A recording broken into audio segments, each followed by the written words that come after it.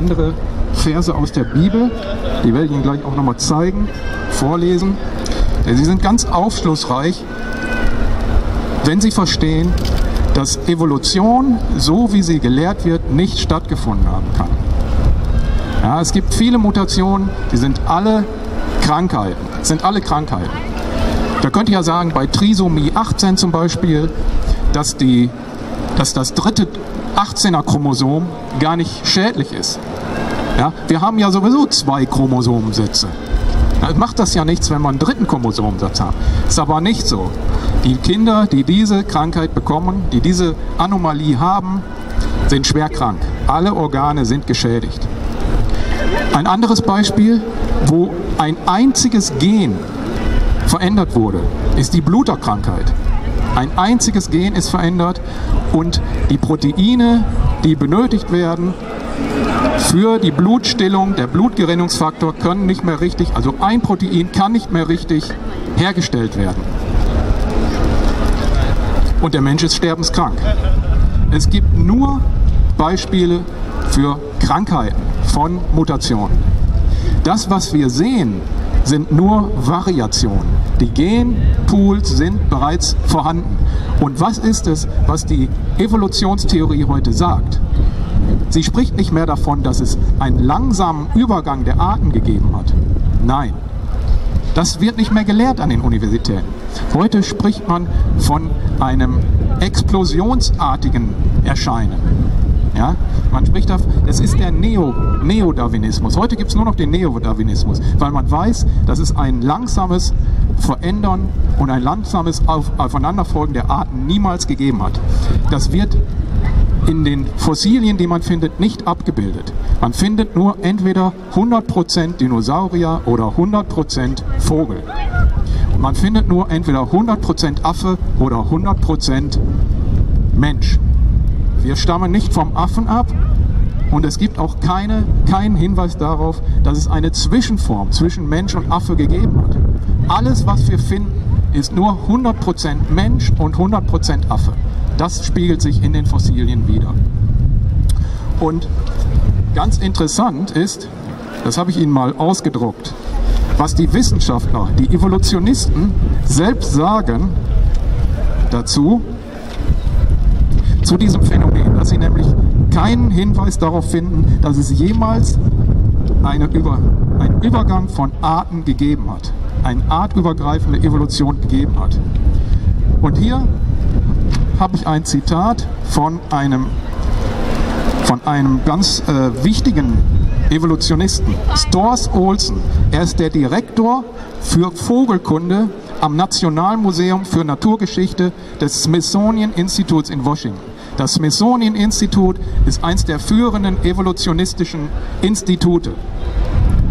Und er sagt, ich lese Ihnen das mal vor, das müssen Sie sich auf der Zunge zergehen lassen. Wenn er das sagt, übrigens ist das so gut wie, als wenn Darwin es sagt. Er ist einer der größten Kapazitäten auf dem Gebiet der Vogelkunde. Und er arbeitet an dem renommiertesten Institut der USA, am Smithsonian Institute. Er sagt, die Darstellung gefiederter Dinosaurier durch die National Geographic Society ist unseriös. Alle diese Darstellungen und Behauptungen sind reines, was sagt er, Fantasieprodukt und nichts als Science Fiction. Dann sagt er weiter, die Idee gefiederter Dinosaurier und der theropode Ursprung von Vögeln, also der Ursprung aus, aus Dinosauriern, so wie es gelehrt wird. Es wird allen unseren Kindern gelehrt. Die Vögel wären aus Dinosaurier entstanden. Ja? Was sagt hier der führende Wissenschaftler? Die Idee gefiederter Dinosaurier und der theropode Ursprung von Vögeln werden aktiv von einem Kader eifriger Wissenschaftler verbreitet und einmütig von bestimmten Redakteuren der Journale Nature und National Geographic aufgegriffen, die selbst zu ausgesprochen und höchst voreingenommenen Glaubenskämpfern geworden sind. Die Wahrheit und sorgfältiges Abwägen der Fakten zählen zu den ersten Opfern ihres Programms, das auf dem besten Weg ist zu einem der größten wissenschaftlichen Schwindel unserer Zeit. Die Theropode Herkunft der Vögel ist nichts anderes als Science Fiction. Ja, wer sagt das? Der Direktor der Vogelkunde am Nationalmuseum des Smithsonian Instituts. Wir wissen also, die Evolution spielt sich rein auf der phänotypischen Ebene ab. Und alle phänotypischen Merkmale werden durch Gene kontrolliert. Ja? Es gibt also kein, kein körperliches Merkmal, ob wir Sommersprossen haben, ob wir blaue Augen haben, blonde Haare haben oder was auch immer, ob wir groß oder klein sind, das sind alles körperliche Merkmale. Und alle körperlichen Merkmale, 100% unseres Aussehens, unseres Körpers, werden durch Gene kontrolliert.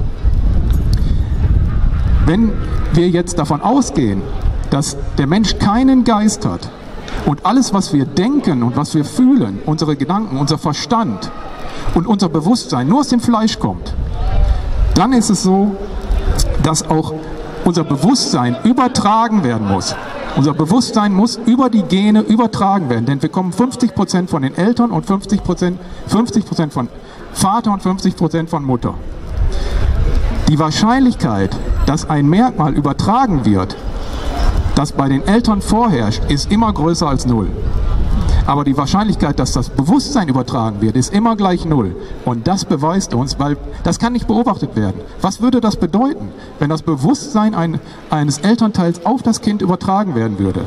Das würde bedeuten, der Vater kann sich selbst durch die Augen des Kindes sehen. Und das ist unmöglich. Und das beweist uns, dass der Mensch einen Geist hat. Das Bewusstsein kann nicht übertragen werden von einem Menschen auf den anderen. Es muss eine geistige, einen geistigen Ursprung haben. Und das bedeutet, der Mensch hat einen Geist. Machen Sie sich das mal ganz klar. Der Mensch hat einen Geist. Sie bestehen nicht nur aus Fleisch und Blut. Sie haben einen Geist. Ja, eine Seele. Und diese Seele ist unsterblich. Die Frage ist, was passiert mit der Seele, wenn sie sterben? Die Seele ist unsterblich. Gedanken, die wir denken, ja, so müssen Sie sich das vorstellen, sind auch unsterblich. Ein Erfinder, der eine Erfindung gemacht hat, der ist, der ist vielleicht längst tot, aber seine Gedanken leben weiter. Der Geist muss von einer Dimension kommen und dort erschaffen worden sein, denn er kann nicht durch Evolution entstanden sein. Evolution funktioniert, wie ich gerade erklärt habe, nur auf der körperlichen Ebene. Ja, nur durch Auswahl von körperlichen Merkmalen. Wenn ein körperliches Merkmal besser funktioniert, dann, so sagt die Evolutionstheorie, wird es weitervererbt. Es braucht den Tod für die Weitervererbung, für die Weitergabe dieses Merkmals. Aber der, der Geist stirbt nicht. Und beim Geist gibt es keinen Tod, es gibt keine Weitervererbung. Das heißt, der Geist lebt ewig. Und da jeder von uns einen Geist und eine Seele hat, ist es sehr wichtig von, für uns, uns darüber Gedanken zu machen, was passiert mit unserer Seele, wenn wir sterben. Denn wir sind hier nur eine ganz kurze Zeit, eine ganz kurze Zeit auf dieser Erde. 80 Jahre, vielleicht 100 Jahre, wenn es hochkommt. Was passiert dann? Die Bibel sagt, wie es dem Menschen bestimmt ist, einmal zu sterben und dann kommt das Gericht. Gott fällt sein Urteil aufgrund seiner Gerechtigkeit. Und die Gerechtigkeit Gottes besagt, die ist unumstößlich. Gott ist der gleiche, früher, heute und für alle Zeiten. Gott ändert sich nicht. Denn wenn er sich ändern würde, wenn er sagen würde, was interessiert mich das, was ich gestern gesagt habe, dann wäre er nicht Gott. Gott ist immer der gleiche. Und sobald wir sein Gebot, seine, sein Gesetz gebrochen haben, sind wir schuldig. Wir sind Sünder. Wir haben unser, unsere Seele verunreinigt und Gott kann uns nicht in den Himmel lassen. Denn Gott ist heilig und Gott ist rein und der Himmel ist rein. Wir sind unrein. Als Sünder sind wir unrein, Gott kann es nicht in den Himmel lassen. Dies ist seine ewige, unumstößliche Gerechtigkeit. Im Apostelgeschichte heißt es, Gott hat zwar über die Zeiten der Unwissenheit hinweggesehen, jetzt aber gebietet er allen Menschen überall Buße zu tun. Ja, wir können also nur zu Gott kommen, wenn wir Buße tun. Und wenn wir Buße tun, heißt auch umkehren. Also nicht nur ähm, äh, kommen und sagen, es tut mir leid, Gott, was ich, dass ich äh, gegen deine Gebote verstoßen habe, sondern auch umkehren, das nicht mehr machen. Und das ist sehr schwer für uns. Für, für mich, als ich meine Befreiung erlebt habe, kurz vorher, war für mich nur die Alternative, entweder ich bleibe weiter in meinen Süchten gefangen, ich, ich bleibe weiter in der Rauchen, beim Rauchen, beim Trinken und äh, vielen anderen Dingen, die ich gemacht habe, oder ich versuche das einfach zu lassen. Ich versuche mich zu kasteien. Und ich habe das wochenlang versucht und ich habe die, die, die Hände in die, äh, in, in die Wände geschlagen, weil ich das nicht mehr aushalten konnte. Ich konnte das alleine nicht schaffen. Und erst als mir jemand gesagt hat, ja hör mal, du bist doch gläubig. Habe ich gesagt, ja, ich gehe auch äh, regelmäßig in den Gottesdienst und äh, ich äh, glaube, dass doch Gott mir, mir, hilft und so weiter. Ja, aber die, die Sache ist die, du musst das vollständig machen. Du musst dein Leben vollständig Jesus übergeben. Dann macht er dich ganz frei. Und dann ist es auch ganz einfach, denn er nimmt die Bindung an der Sünde, nimmt er von dir. Wir sind alle, ihr seid alle gebunden an der Sünde.